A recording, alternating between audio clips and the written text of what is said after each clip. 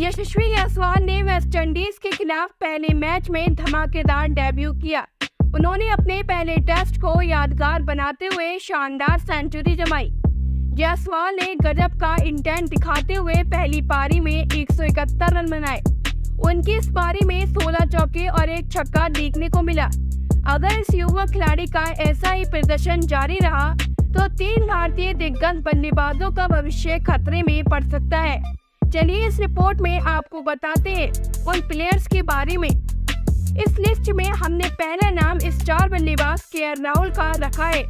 फ़िलहाल वे इंजरी के चलते टीम इंडिया का हिस्सा नहीं है। लेकिन यशस्वी जायसवाल के डेब्यू के बाद उनका वापसी करना मुश्किल लग रहा है। क्योंकि जायसवाल की पारी के बाद लोकेश राहुल की वापसी के दरवाजे बंद हो गए हैं। मौजूदा समय में के राहुल का फॉर्म उतना अच्छा नहीं है। जिसकी वजह से चयनकर्ता उन पर भरोसा जता सके।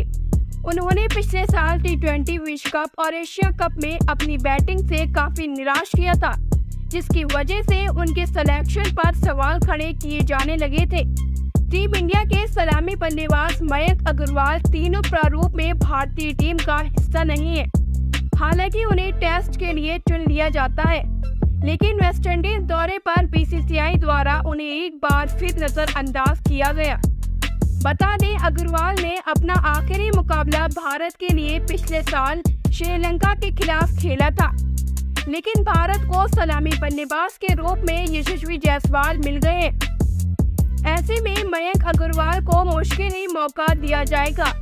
टेस्ट क्रिकेट में टीम इंडिया के रीड कहे जाने वाले चितेश्वर पुजारा को वेस्टइंडीज दौरे से बाहर रखा गया है। हो सकता है चयनकर्ता इंग्लैंड में खेली गई वर्ल्ड टेस्ट चैंपियनशिप फाइनल के प्रदर्शन से नाराज़ हो। फाइनल मुकाबले में पुजारा से काफ़ी उम्मीदें थी कि वे बड़ी पारी खेलेंगे, पर प्रबंधन की उम्मीदों पर खरा नहीं उतर सके, जिसकी वजह से उन्हें वेस्टइंडीज के दौरे पर नहीं चुना गया। वहीं अब टेस्ट क्रिकेट में यशस्वी जायसवाल की धमाकेदार एंट्री हो चुकी है, जिसके बाद पुजारा का प्लेइंग इलेवन में जगह बनना मुश्किल नज़र आ रहा है। पुजारा भविष्य में बेंच गर्म करते हुए नज़र आ सकते हैं। फ्रेंड्स आपको वीडियो कैसी लगी? कमेंट में ज़रूर बताएँ। और वीडियो को लाइक शेयर एंड सब्सक्राइब करना न भूलें।